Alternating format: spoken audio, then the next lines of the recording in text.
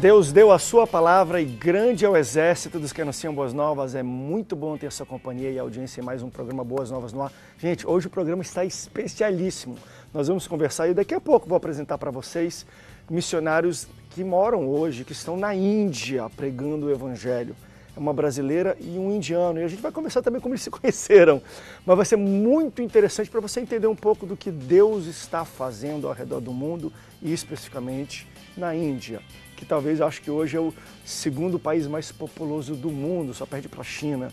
Mas é muita gente que precisa ouvir falar de Jesus e muitas pessoas que nunca ouviram, tá? Lá talvez seja um dos países que mais tem a, a, a, proporcionalidade de pessoas que nunca ouviram falar de Jesus, pelo número de pessoas que moram lá.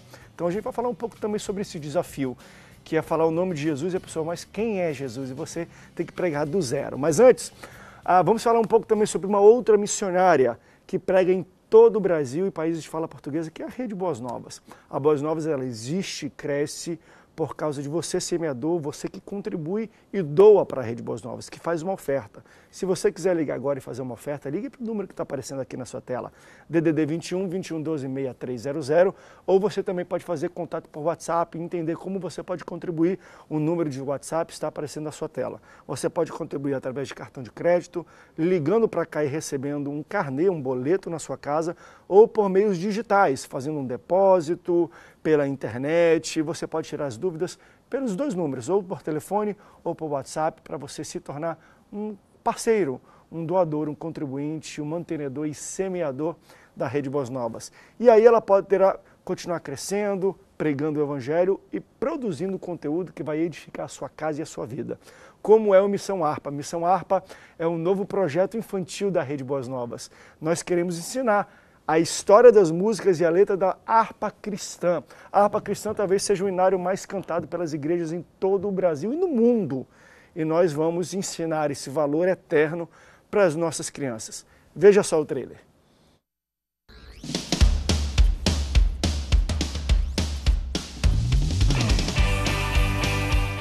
Encontramos! Meu Deus, ela mesma.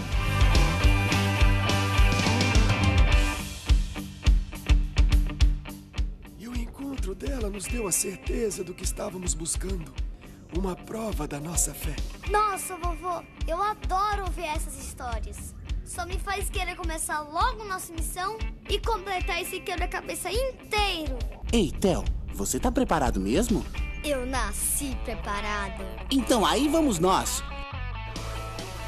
Uou! Meu Deus! Já estamos viajando pelo tempo. Nesse grande dia, vamos poder resgatar uma parte importante daquilo que o mundo perdeu a essência do primeiro amor.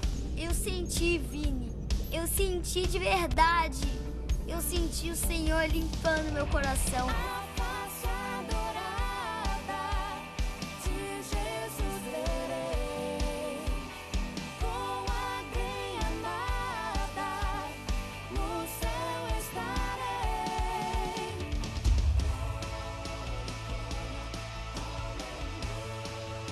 Assim como nós agora, nesse tempo difícil, temos a mesma missão que os primeiros cristãos tinham: entregar apenas o que nos foi dado, o amor de Deus, as boas novas do Evangelho e manter acesa a chama para as próximas gerações.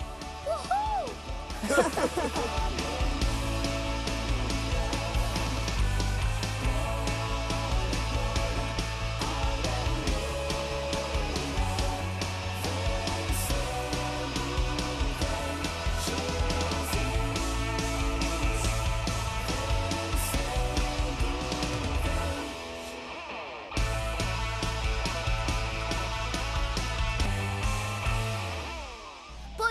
fazer de novo? Please! Esse é a Missão Harpa, tá bom? Olha, você, papai, vovô, eu sei que você gosta da harpa cristã, você tem que levar para sua casa esse produto. Seu filho vai lhe ensinar a harpa cristã depois de alguns dias que ele estiver vendo o desenho. Ele estará disponível em todas as livrarias evangélicas do Brasil e também nas plataformas digitais de áudio e de vídeo, principalmente no YouTube, para você também ver gratuitamente, se você quiser, tá bom? Eu vou para um rápido intervalo, daqui a pouco eu volto.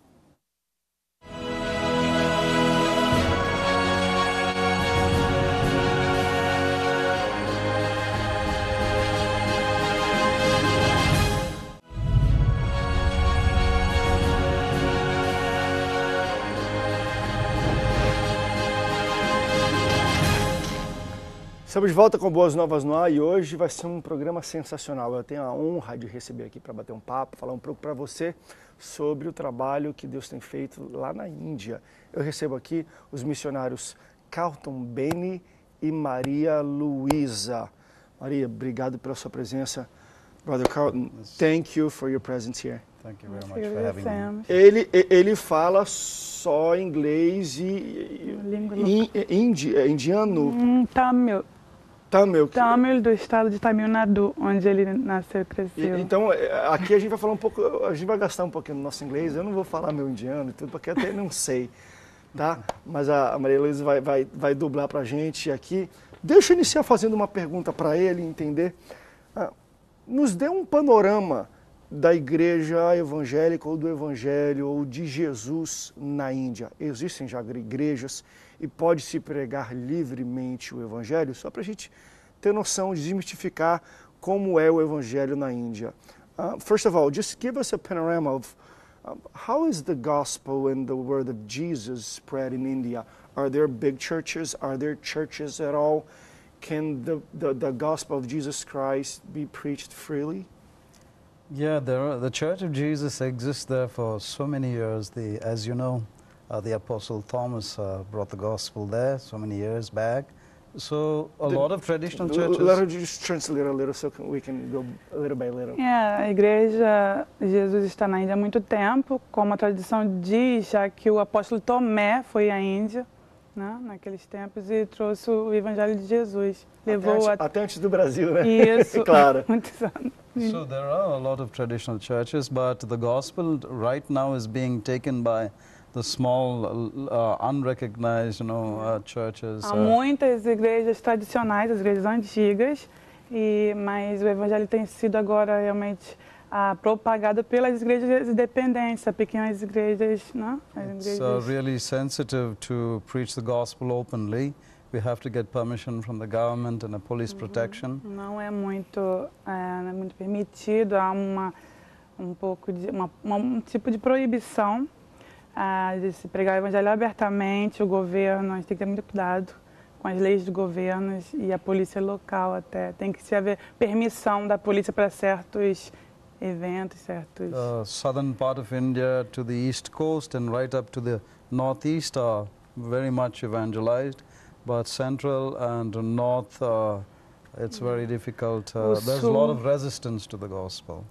o sul e aí até o nordeste, leste, nordeste, é, tem bastante evangelização, é bem evangelizada, podemos dizer, mas o centro, a parte central e o norte, a, a maior perseguição é mais difícil. E eu vou perguntar um pouco sobre essa perseguição, essa dificuldade né, no centro. É por questões políticas, é por questões religiosas mesmo. A religião deles é muito forte e combate isso ou por outros.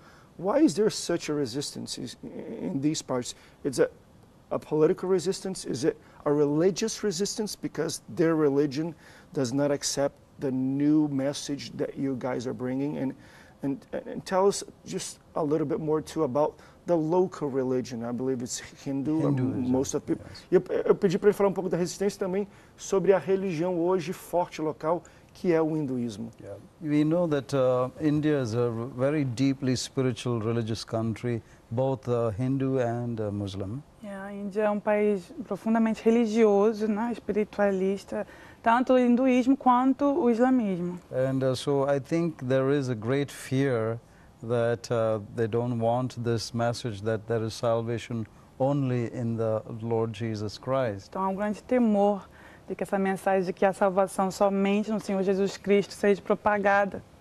Uh, but we do know the Bible says there is only one way to God, and uh, that is, I think, facing a stiff resistance. They are, not open to this idea that Yeah, uh, salvation only in é isso que a Christ. gente faz, a gente propaga que a única salvação é através de Jesus. Então essa é a grande resistência né, religiosa mesmo, o medo. And uh, politically, right now, yeah, there is a rejection of it. We, they don't want it. They Yeah. want to saffronize the whole country. Poli- e político também no momento, até porque a- o, o partido em poder agora é hindu. Então está se falando da indunização da Índia. Te- tem- na verdade, tem um, Não é talvez como o Brasil e tudo, mas tem um, uma relação muito próxima entre a religião e a política. There's a there's a, a, a really close relation between the uh, government, the politics, and the uh, national religion. Yes, yes, very much. We can see it uh, now much more prominent, rising up uh, wow. to control the the church and the gospel. Sim, agora a gente está vendo isso muito prominente por, por causa desse partido, que não é assim, dem, não é democrático, né, vamos dizer. Vocês são casados. Isso. Como vocês se conheceram? Como é que foi isso de um, de um missionário? E para você, até vez, poxa, eu casei com um missionário indiano e moro na Índia hoje. Em algum momento você imaginava isso para sua vida? Não, não com, não com a Índia especificamente. I, I asked her about, okay, you understand a little, okay. the women's version yes, is, is the right version. Eu falei que a versão feminina desses fatos de casamento é sempre acerta. É, não imaginava com a Índia especificamente, mas já imaginava em algum país do mundo, porque eu senti o, chamado para os povos não alcançados há muito tempo, quando era muito novinha. E aos 19 anos, chamado específico para a Índia, através da igreja, da igreja onde eu trabalhava na época. E eu fui ser secretária de missões e me preparar para ir para a Índia solteira. E aí fui, entrei na UERJ, na UERJ e eu fazendo letras em inglês. E, e aí conheci um, um missionário brasileiro que a minha igreja sustentava e apoiava, casou com uma indiana e eles vieram ao Brasil. E eu tomei, conheci, os conheci, eu ia trabalhar com eles. E quando ela voltou para a Índia, falou de mim para ele. Que ela era irmã, irmã dele, essa missionária indiana. E ela mandou uma carta, já que você vem para a Índia, você vai ser missionária aqui, você casaria com meu irmão. E eu nem.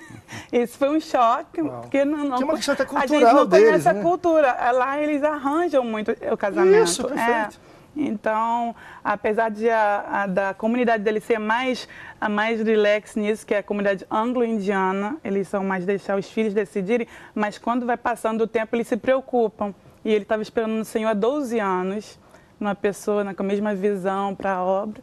E aí eu achei estranho, Uau. mas achei, achei que estava entendendo errado o inglês dela. Mas falei, fala para ele escrever então, a gente vai vendo. Nossa, se for da vontade de Deus vai acontecer.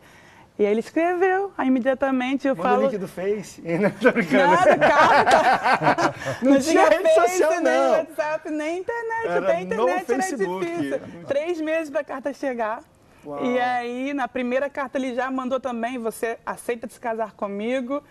E eu, e eu, disse, eu disse assim, sim, se for a vontade de Deus, eu aceito. Uau. E a gente se correspondeu. Eu falo que foi amor a primeira carta, a primeira vez. Deixa eu mostrar algumas. Nós temos algumas fotos, não temos aí? Do trabalho deles envolvido. Fala um pouquinho ah, pra gente, Maria. Aí é nossa, nossos filhos. Gente, é, são a quatro. Radassa, a mais velha de 14 anos, a Natália Tirza, de 11 anos, o Miguel, a Isaac, de 7 e a Gabriela, de 2,5. Eles já vieram ao Brasil? Eles vêm ao Brasil? Essa foi agora a primeira vez que eles vieram agora. A gente retornou ao Brasil depois de 10 anos. Essa é a nossa igreja lá, a igreja, nossa igreja missionária, nossa igrejinha lá, nosso local. Que coisa culto. linda, gente. Aí todos eles mandaram essa foto no último domingo para mostrar nós não estamos lá, então eles estão mandando.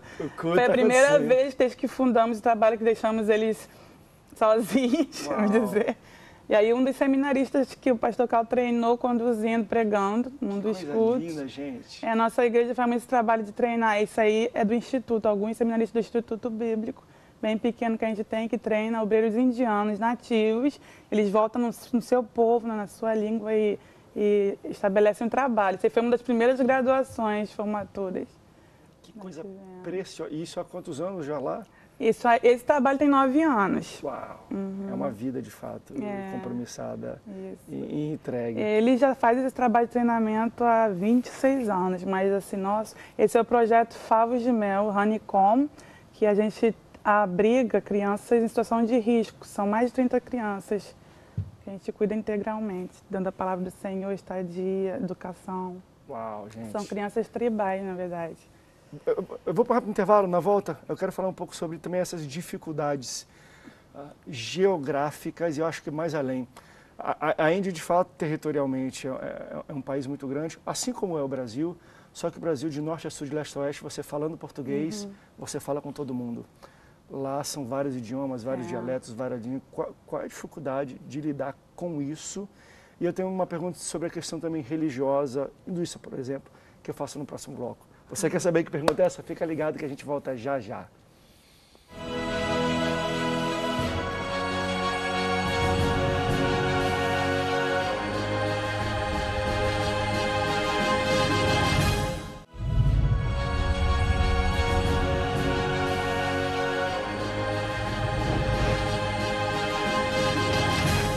Estamos de volta falando um pouco sobre missão na Índia, com o missionário Cartobene e a sua esposa, que é brasileira, a gente conhecendo agora toda a família, o trabalho lindo.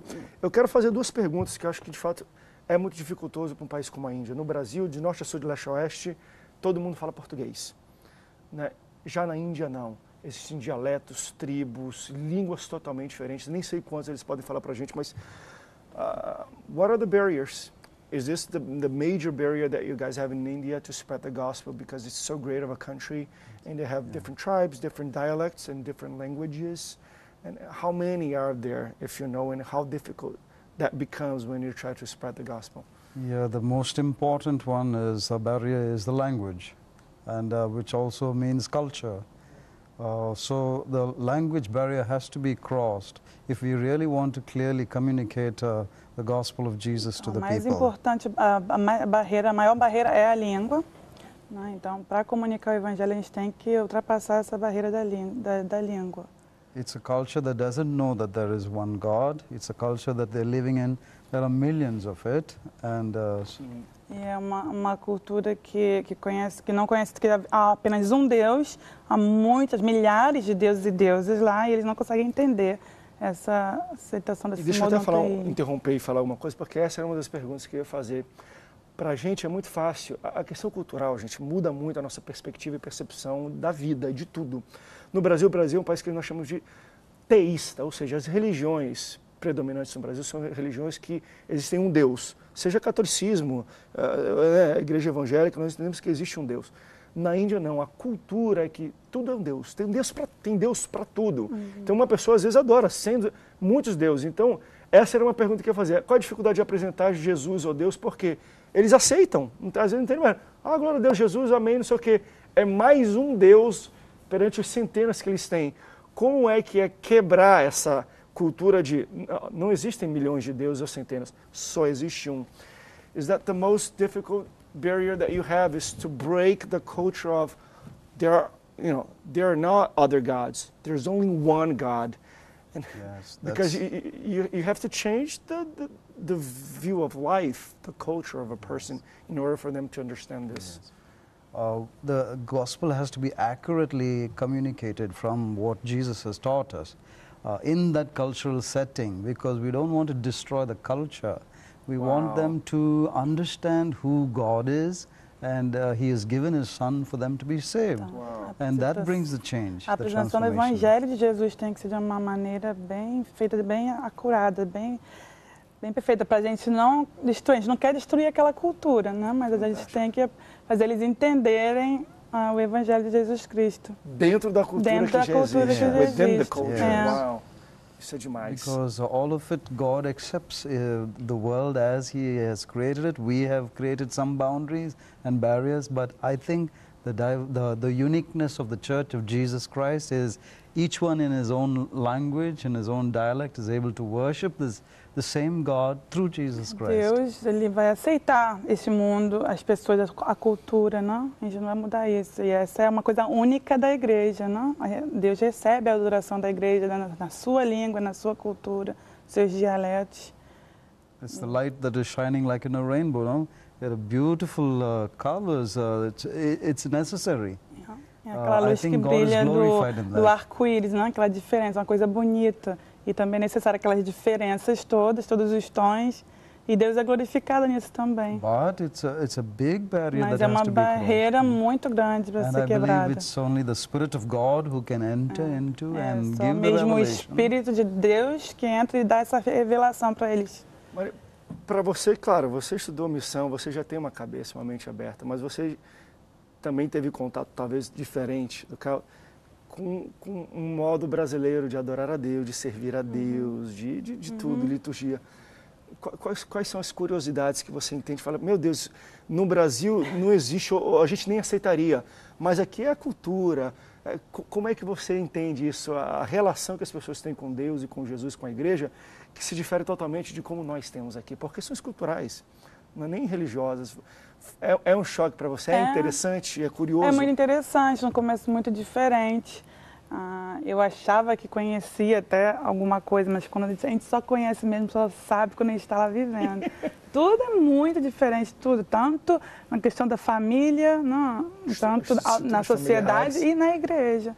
A gente cobre a cabeça com esse véuzinho, todos cobrem. Como as outras religiões cobrem lá fora, quando eles são do, do hinduísmo, mas fala, a gente cobre a cabeça para aqueles deuses que era falso, aqui a gente não vai reverenciar o Deus verdadeiro. Uau. Então todos cobrem, eu cobro a minha cabeça lá e chega aqui eu não cubro. Então isso aí é uma. A gente, muitas igrejas têm que sentar no chão, deixar o sapato lá fora, sentar no chão o culto inteiro. Eles gostam de bater palma sempre. Então isso é, vem da questão, cultura. É, a questão do louvor, essa coisa toda linda aqui de, de cantar, do louvor, assim como é aqui no Brasil, não é tanto lá.